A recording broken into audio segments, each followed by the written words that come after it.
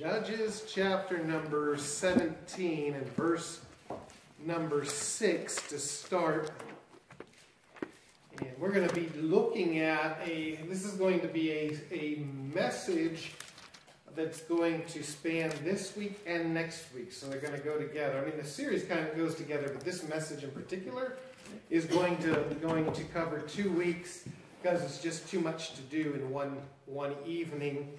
Um, but Judges 17 and verse number 6. Judges 17, 6.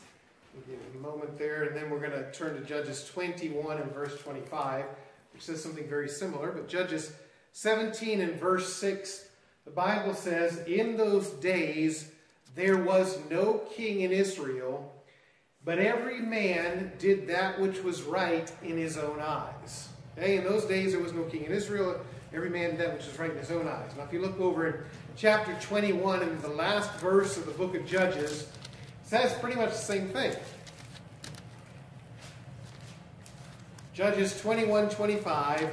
In those days there was no king in Israel. Every man did that which was right in his own eyes. That would be nice if it ended with every man did that which was right. That'd be wonderful. But it doesn't. Okay? It says that every man did that which was right in his own eyes. Now, tonight, we're going to start moving towards more of an answer to our, our questions that we asked at the very beginning of the series and talk about the responsibility of human government. And this is going to be two parts because next week is going to be our responsibility to our government. So we have the responsibility of human government and then our responsibility toward our government.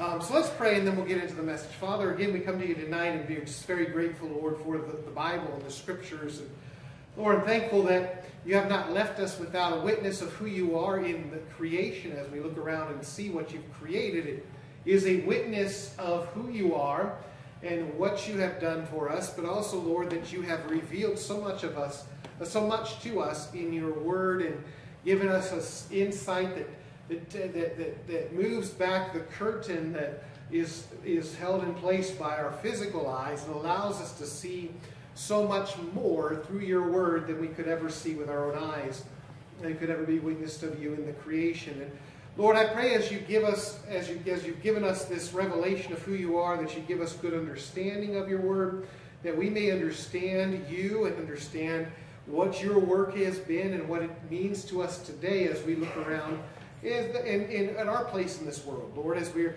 here in this day and in this time, help us to see how your word applies to us today. Lord, thank you so much for it. We ask your blessing upon it now. In Christ's name, amen.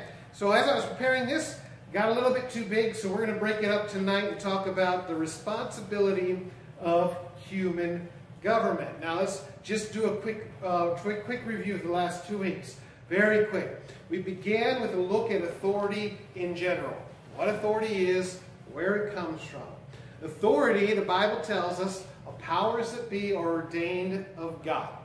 All authority exists because God exists. There is no authority. We cannot understand authority in the world without understanding the fact that there is a God and that God is the author of everything. Without God, authority just has itself, and that's it. Without God, authority is the ultimate power in the world. And whoever has the might makes the right. But we understand, though, what, what, what authority is because we know about God and who God is.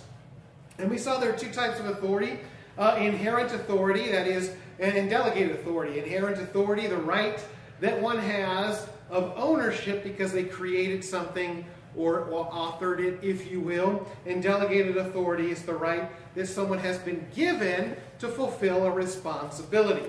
Inherent authority is based on ownership.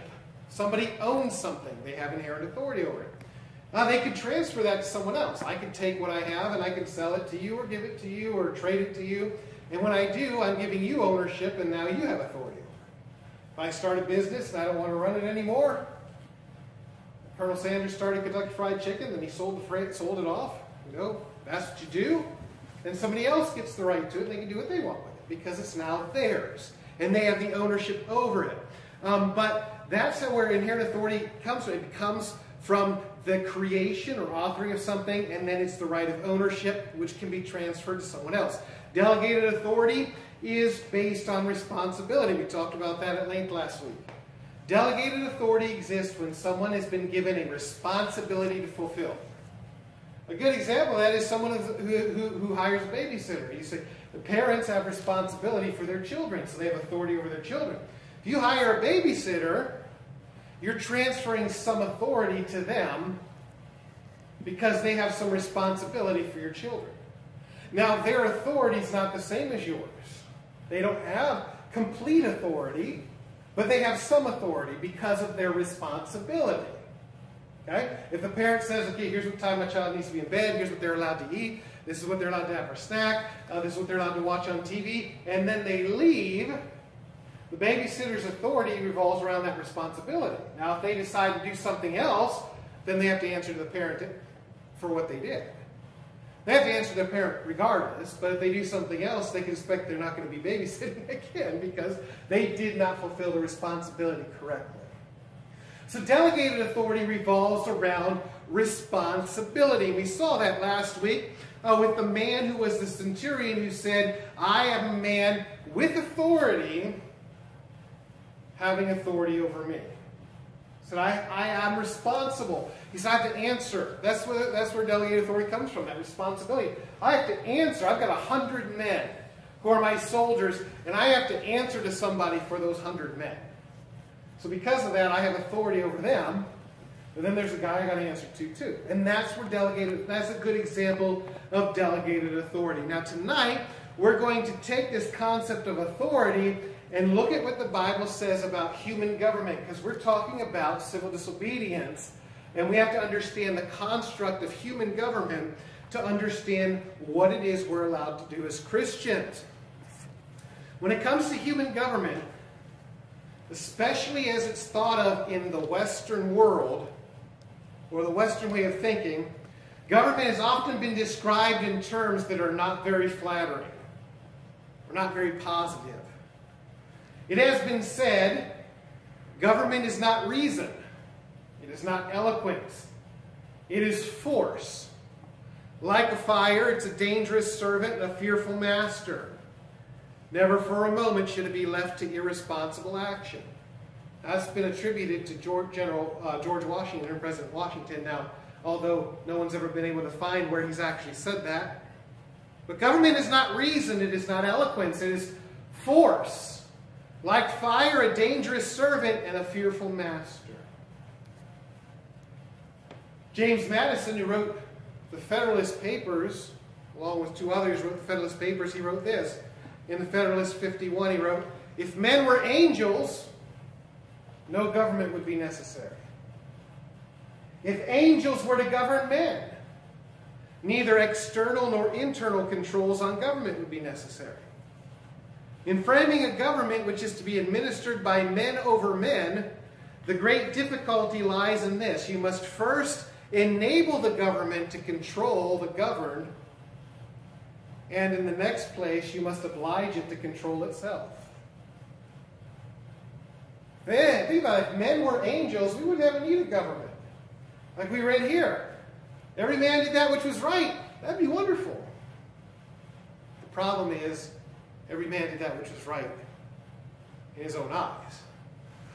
And therefore, government is a necessity of life. Thomas Paine, who wrote the book Common Sense and wrote under the name Common Sense, wrote this. He wrote, Society is produced by our wants government by our wickedness. Society promotes our happiness positively by uniting our affections, but government negatively by restraining our vices. Society in every state is a blessing, but government, even at its, at its best state, is a necessary evil. Government has been looked at somewhat negatively not very flatteringly in the eyes of those who founded our country, which is one reason why we have the type of government we have. That's divided up the power amongst many so that not one person rules over everyone. But as we consider government tonight, we are obliged to see what the Bible has to say about human government, where it comes from, why it exists. So let's start with the definition and then we'll look at what the Bible says here. Definition of human government is simply this Human government is a construct of a society whereby a person or a group of people have been given authority to make laws and enforce punishment upon those who break the law. Human government is a construct of a society whereby a person or a group of people has been granted authority to make laws and then enforce the punishment upon those who break the law. That's what we read. Well, that's what we read in first in Romans 13, and we'll look at that a little bit later in 1 Peter chapter 2. Both passages tell us that those who rule over us are to be a terror to evil works, to punish those that do evil and praise those that do well. That is how the Bible frames human government. But as we look at the Bible, a lot of questions come up. Questions like, where does the right to govern people come from? Where does it come from? I mean, God, when He created Adam and Eve, He did not create government at that point in history. Adam and Eve were not constrained by any man's law or any ruler at all. How do we decide who has power and who does not have power in a society? Is governmental authority just because it exists? I mean, is it just right because government exists, or is there some other measure of what makes government authority right and just and good?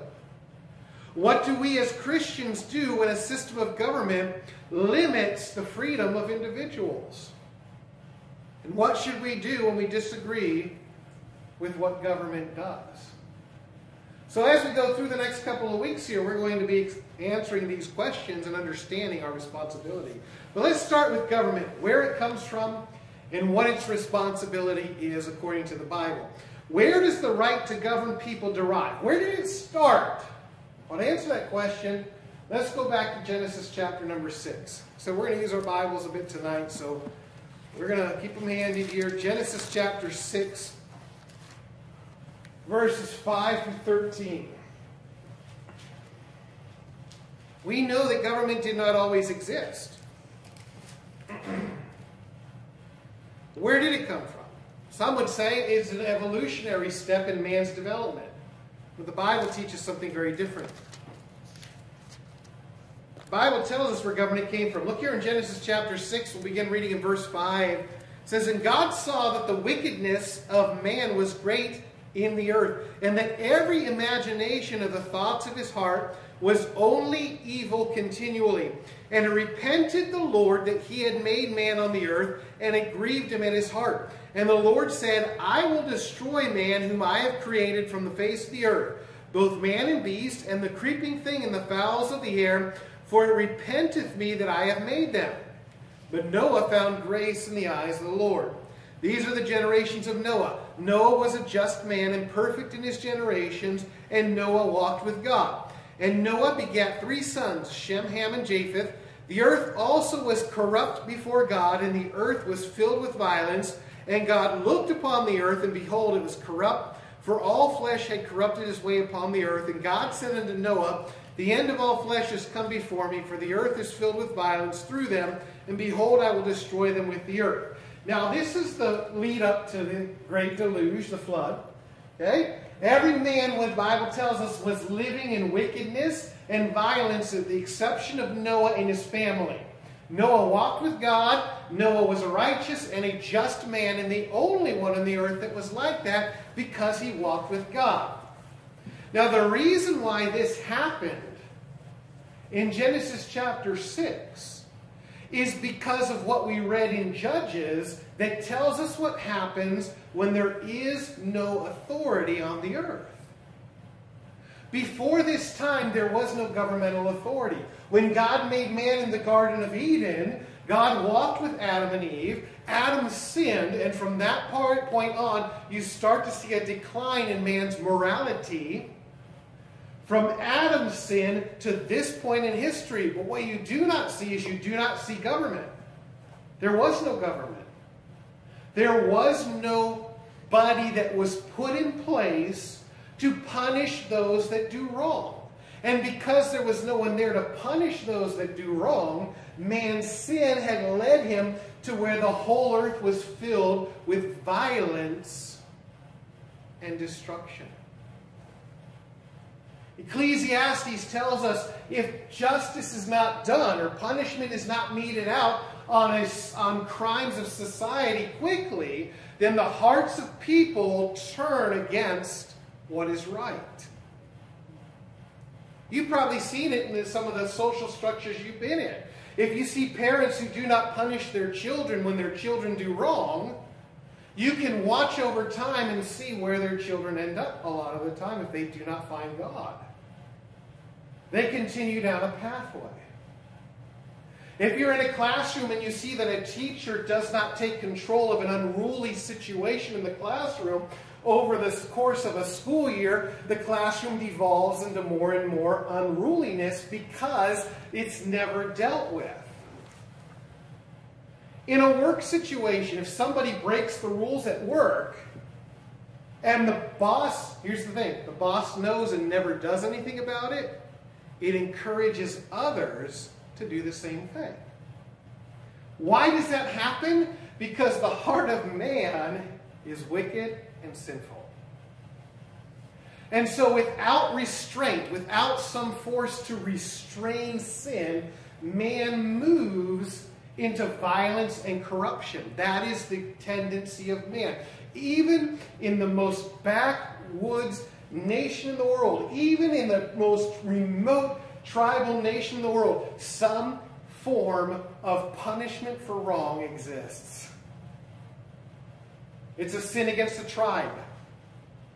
Maybe somebody does something against the group, but there is some either excommunication or some form of punishment because any construct of society must do that for to have a civilized society. It must.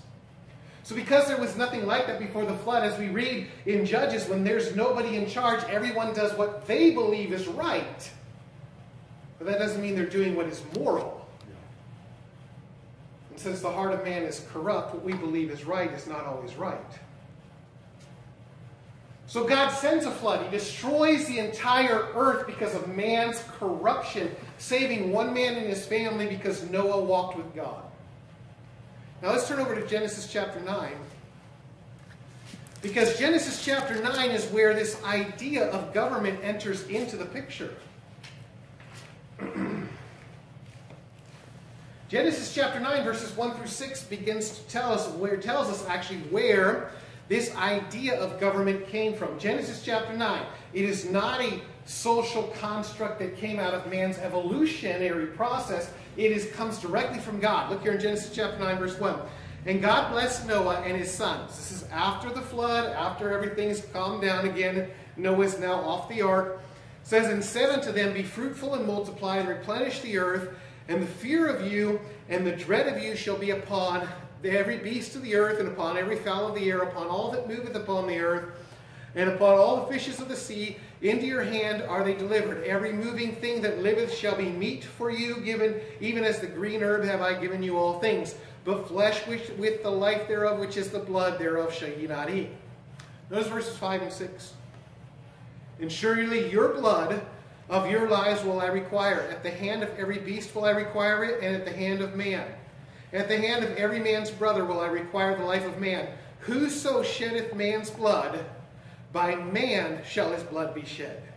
For in the image of God made he man. This is the point where God stepped in and said, You need to take care of the problems that rise up in your world. God said this to Noah. He said, You're coming off the ark. Here's what you're going to do. You're going to restart it. Everything's been destroyed. Everything's been wiped out. The violence and corruption was so great to destroy everybody. Now, it's your responsibility. When somebody commits a murder, when somebody takes the life of someone else, it is your responsibility to take their life and make it right. And in so doing, God instituted a start of a system that would punish people for their wrongdoing. This is very different than what happened before the flood. What happened when Cain killed his brother? God didn't require Cain's death. In fact, he did the opposite. When Cain killed Abel, Cain, God, God said to Cain, He said, uh, he, he, said, You've killed your brother. He said, But if, you know, He said, sin's at the door. And He said, If you aren't going to repent, He said, If not, you're going to be a vagabond the rest of your life and you're going to live outside of the society. You're not going to be able to accept it in society. And Cain said, My sin is too much for me to bear. Everybody's going to kill me. God said, No, no, no, I'll put a mark on you so no one will kill you. Isn't that weird?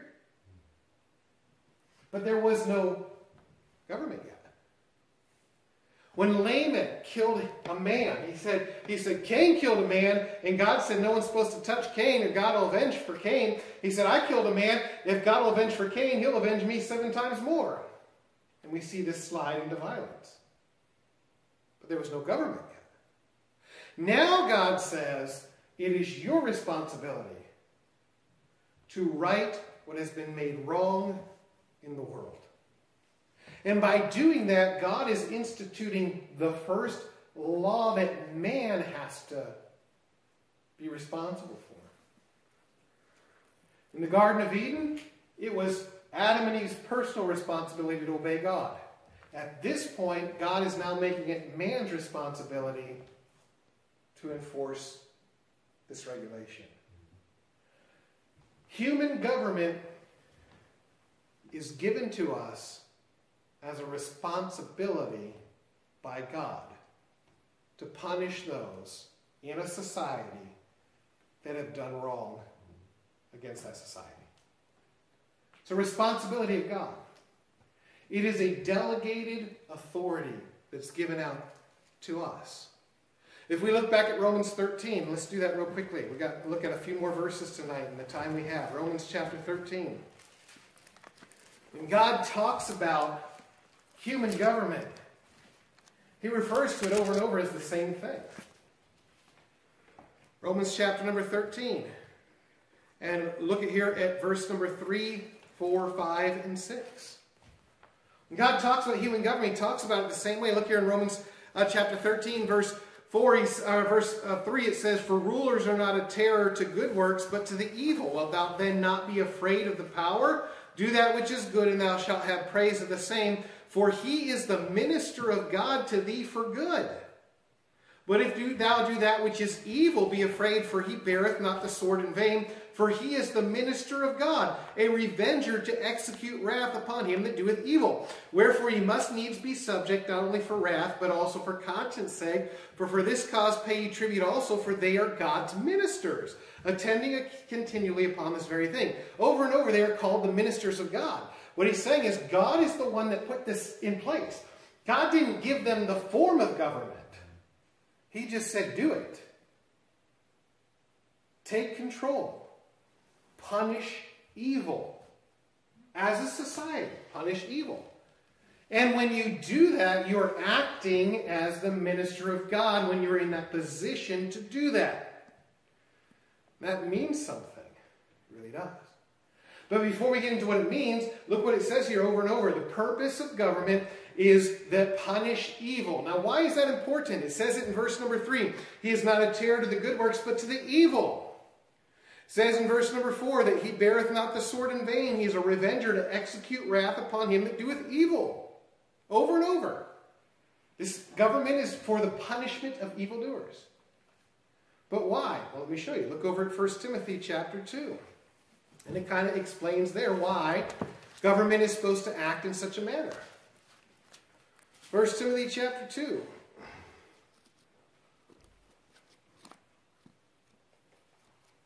Well, I was in Thessalonians. That isn't going to work. 1 Timothy chapter 2, verse 1. I looked down and thought, that's not the right verse. That's the wrong book. 1 Timothy chapter 2, verse 1 says, I exhort, therefore, that first of all, supplications, prayers, intercessions, and giving of thanks be made for all men, for kings and for all that are in authority, that we may lead a quiet and peaceable life in all godliness and honesty. That is the reason.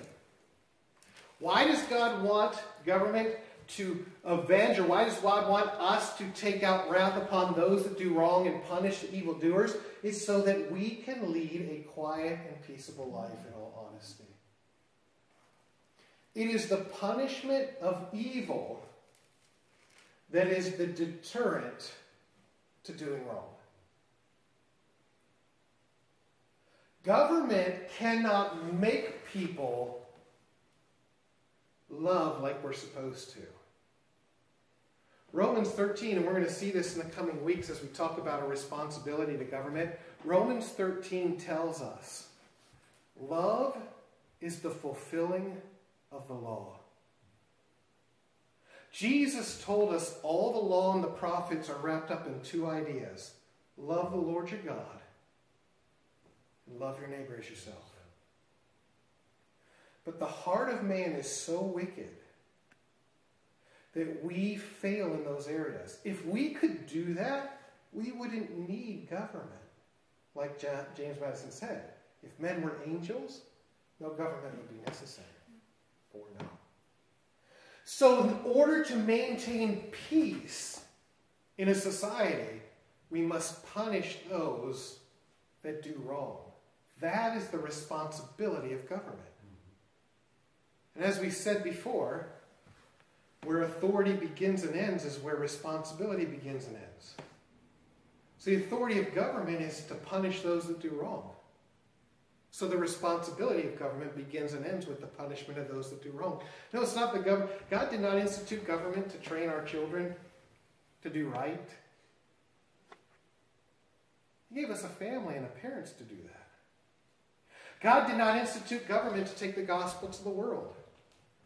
God gave us a church to do that. God did not institute government to provide for our families.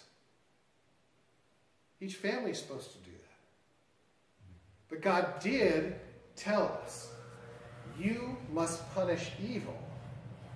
That's what government is for. This thought was further, further uh, strengthened when Moses brought the people out of Egypt and came to Mount Sinai. What did God give them Mount Sinai? He gave them a whole set of laws and said, Here you go. Here's your society. And every time someone breaks a law, he said, I gave you a system too. He said, I gave you judges to go ahead and judge between what is right and wrong, and you're to punish those that do evil. Why? Because it deters people that we're going to do evil. Now, the greatest deterrent to doing evil is love, but if there's no love in our hearts, the second greatest deterrent to do evil is that sword that the government bears. You know, when I was when I was growing up, when I was growing up, the greatest deterrent to do, uh, the greatest in, the greatest motivator to do right, and the greatest deterrent to do wrong was love of mommy and daddy. But when love of mommy and daddy wasn't good enough, you know what the greatest deterrent to doing wrong was? The belt that hung on the wall. Or the paddle that my mom kept in the drawer. Because I knew that if I disobeyed, there was a wooden spoon that had my name on it. If I didn't do what I was supposed to do, or if I disobeyed what I wasn't supposed to disobey, then I knew. My mom found out there's that paddle. The greatest motivator for driving the speed limit is either our conscience or it's the police car that's sitting on the side of the road. If you're in a line of traffic and there's a police car up the road, you see how many people's brake lights come on? it's the truth. Because the threat of punishment for wrongdoing is a deterrent to keep people from doing wrong. It has been said you cannot legislate morality, and what they mean by that is you cannot write a law that will make you love, but you can write a law that can stop you from doing wrong, as long as the punishment is great enough. Turn with me over to another passage. Let's cover 1 Peter. 1 Peter chapter 2. Government has been given to us by God as a way to punish evildoers so that we can bring peace to our society. 1 Peter chapter 2, verse 11. The Bible says, Kings and all that are in authority allow us to lead a quiet and peaceable life. Here, 1 Peter chapter 2, verse 11 through verse 13. We're coming to a close. It says, Dearly beloved, I beseech you as strangers and pilgrims, abstain from fleshly lusts, which war against your soul, having your conversation honest among the Gentiles, that whereas they speak against you as evildoers, they may by your good works, which they shall behold, glorify God in the day of visitation. What kind of good works is he talking about here? Well, let's continue to read. Verse 13 Submit yourself to every ordinance of man for the Lord's sake, whether it be to the king as supreme or unto governors as unto them that are sent by him for the punishment of evildoers and for the praise of them that do well, for so is the will of God that with well doing he may put to silence the ignorance of foolish men. There it is. So why did God why does God give us or why, why do we have kings and governors and people in authority? For the punishment of evildoers and the praise of them that do well. They are sent, literally sent, for that purpose. Because they're the ministers of God. Let me end with this thought. Human government came into place because God told man, you have to deal with the unjust evil that's going on in your world. Starts with murder. Make that, at least deal with that. And then when he brought Israel out, he said, Here, let me give you a whole bunch of more laws that you're supposed to keep. And he gave them a whole set of laws. And in it, God, hey, God, you know, God in the laws of Israel affirmed uh, public pro- or private property by telling folks you're not allowed to steal. What's God saying? Saying what you own is yours.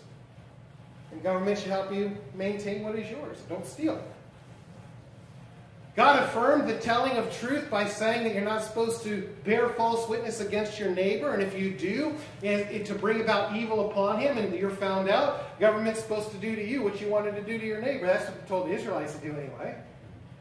God was saying is affirming the telling of truth in a society. God was affirming so many things of morality and then giving government the power to enforce that those laws. Because that's what government was to do.